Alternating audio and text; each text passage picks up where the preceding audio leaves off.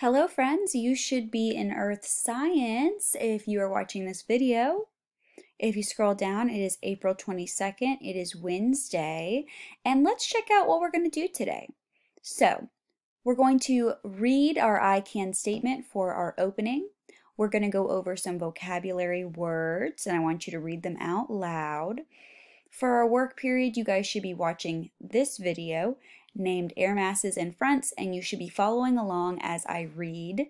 And then at the end of this class period, you should be taking a one question quiz. So let's start with our I can statement. I can construct an explanation of the relationship between air pressure, fronts, and air masses and how they impact the formation of meteorological events such as thunderstorms and tornadoes. So let's start with our mini lesson. We've got four vocabulary words. So the first word is air mass. Air mass, a large body of air throughout which temperature and moisture content are similar. Anticyclone, the rotation of air around a high pressure center in the direction opposite to Earth's rotation. Cyclone, an area in the atmosphere that has lower pressure than the surrounding areas and has winds that spiral towards the center. And front. The boundary between air masses of different densities and usually different temperatures. For our work period, you should be watching this video and we're going to start reading.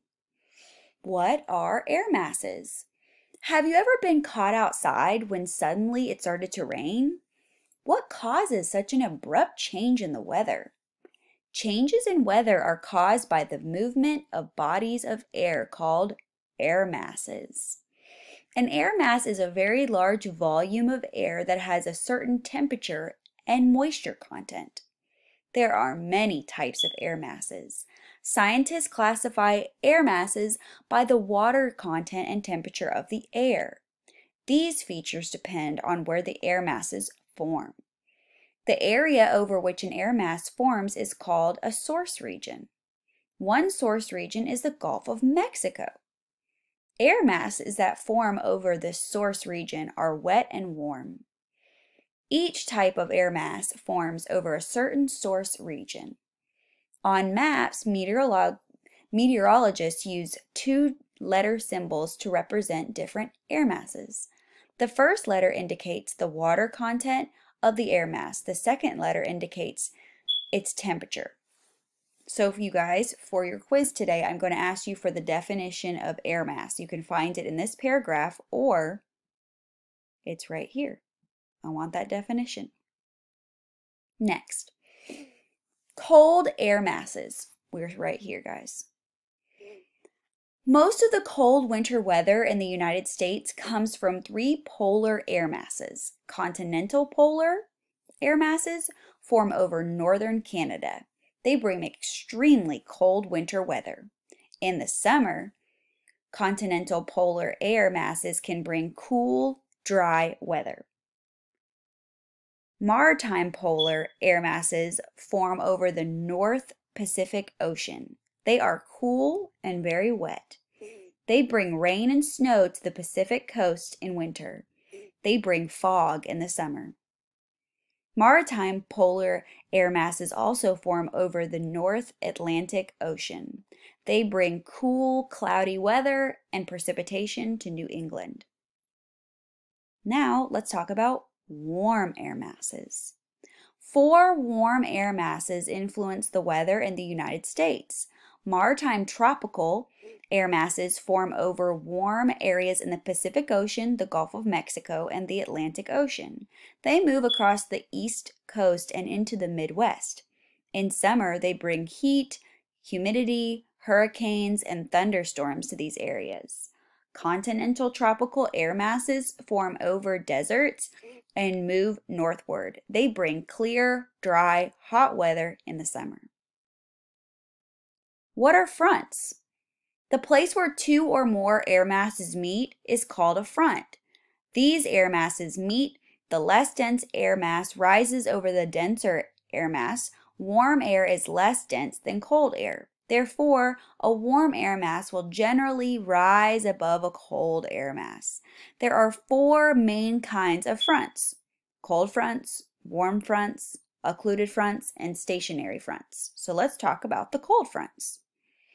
A cold front forms when cold air mass moves under a warm air mass. The cold air pushes the warm air mass up, the cold air mass replaces the warm air mass. Cold fronts can move quickly and bring heavy precipitation. When a cold front has passed, the weather is usually cooler. This is because a cold, dry air mass moves in behind the cold front. So usually cold fronts make the weather cold, okay? Now we're going to talk about a warm front. A warm front forms when a warm air mass moves over a cold air mass that is leaving an area. The warm air replaces the cold air as the cold air moves away. Warm fronts can bring light rain. They are followed by clear, warm weather. So warm fronts make warm weather, cold fronts make cold weather. Occluded fronts. Occluded fronts form when warm air mass is caught between two cold air masses. Occluded fronts bring cool temperatures and large amounts of rain and snow. So the warm air is caught in between the two cold airs, okay? Now we've got stationary front. A stationary front forms when a cold air mass and warm air mass move toward each other. Neither air mass has enough energy to push the other out of the way. Therefore, the two air masses remain in the same place. Stationary fronts cause many days of cloudy, wet weather. Now, how does air pressure affect the weather? Remember that air produces pressure. However, air pressure is not always the same everywhere. Areas with different pressures can cause changes in the weather. These areas may have lower or higher air pressure than their surroundings. A cyclone is an area of the atmosphere that has lower pressure than the surrounding air. The air in the cyclone rises. As the air rises, it cools. Clouds can form and may cause rainy or stormy weather. An anticyclone is an area of the atmosphere that has higher pressure than the surrounding air. Air in the anticyclone sinks and gets warmer its relative humidity decreases. This warm, sinking air can bring dry, clear weather. Cyclones and anticyclones can affect each other. Air moving out from the center of an anticyclone moves towards area of low pressure. This movement can form a cyclone. The figure below shows how cyclones and anticyclones can affect each other. Okay?